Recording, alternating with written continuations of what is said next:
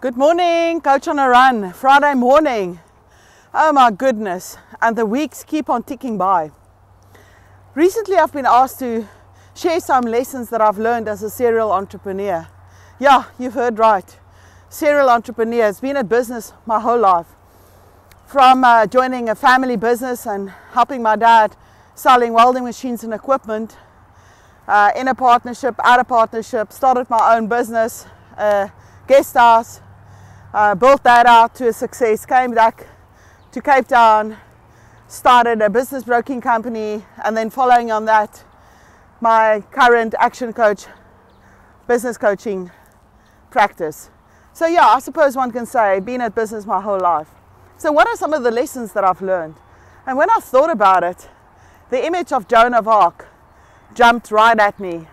So, who's Joan of Arc? Joan of Arc was a peasant girl, 19 years old, that she believed was called by God to lead the, to lead the French army in a big, uh, like serious battle against the British.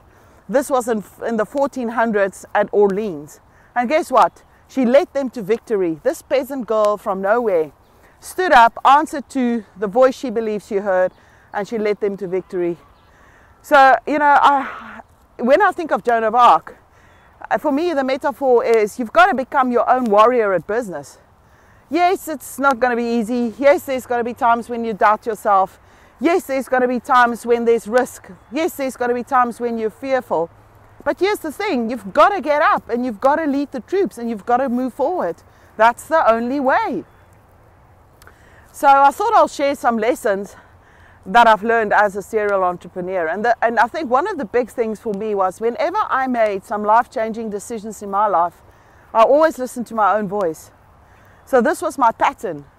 You know, I'll, I'll declare what I want to do, and then, um, yeah, so what do you think about it? You know, and I'll get all these advice. Oh, yeah, that's a fantastic idea. Oh, no, who's going to sleep in a guest house in Kempton Park? Worst decision ever.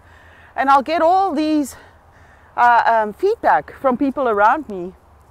But every time I went back into myself and I took a decision that worked for me. So I suppose the first lesson that I learned being a warrior at business, a serial entrepreneur, is take advice, take counsel, ask people what do they think. But in the end, make the decision yourself. Listen to your own voice.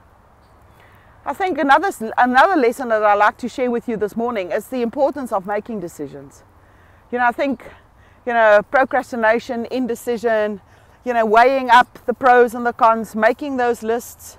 Shall I? Shall I not? Do I want to? Don't I want to?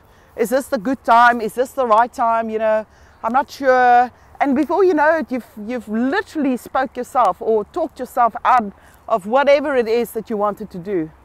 So indecision is for me a big thing. You know, I, I don't know. I, I, don't, I don't tread in indecision. You know, make the decision, get on with it. You'll soon enough know whether it's the right decision. Um, so yeah, uh, five, four, three, two, one, like Mel Robbins says, make the decision. You know, if it if it turns out not to be the right decision, then guess what? You can change, uh, make another decision, do something else. You know, uh, take a different route. But you'll only know if you make the decision, and and and then we learn from whatever happens. So yeah, um, make the decision, push yourself through that um, unknown, and go forward. So yeah, some lessons learned as a serial entrepreneur. Next week I'll I'll share some more with you. God bless, be safe, have a fantastic Friday. And why don't you share with me some lessons that you've learned as a serial entrepreneur? Put that right under in the comment box. We'd love to get some feedback from you. Cheers for now.